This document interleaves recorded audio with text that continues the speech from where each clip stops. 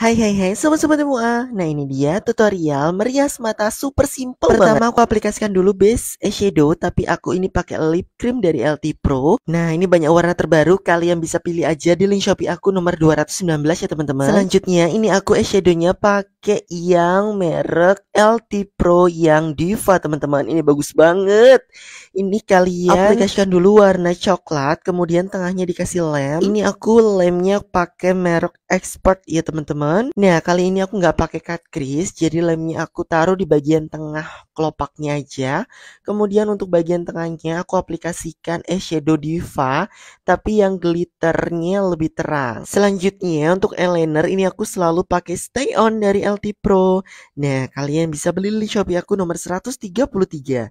Ini harganya murah, hitam pekat, waterproof, dan gampang banget diaplikasikan. Nah, kalau sudah lanjut aku mau pasang bulu mata palsu.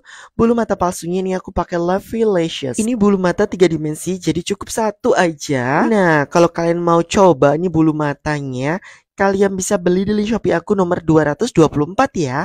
Gampang banget loh, ini tinggal dijahit aja tuh. Langsung jadi kan. Lanjut untuk bagian dalamnya ini dihitamkan menggunakan Stay On Eyeliner Spidol dari Altipro yang tadi. Jangan sampai ada celah yang masih kotor ya teman-teman, harus hitam banget. Selanjutnya untuk bagian dalam matanya, untuk nge line ini aku pakai eyeliner pensil dari LT Pro.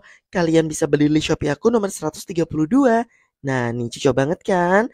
Nah, step terakhir untuk bagian bawah aku nggak pakai bulu mata bawah supaya nggak kelihatan wedding karena ini mau untuk photoshoot. Jadi aku cuma pakai maskara dari Alti Pro dan aku kasih eyeliner pensil. Mudah banget kan teman-teman dan sudah selesai. Dan ini dia hasil foto produknya. Gimana? Selamat mencoba ya.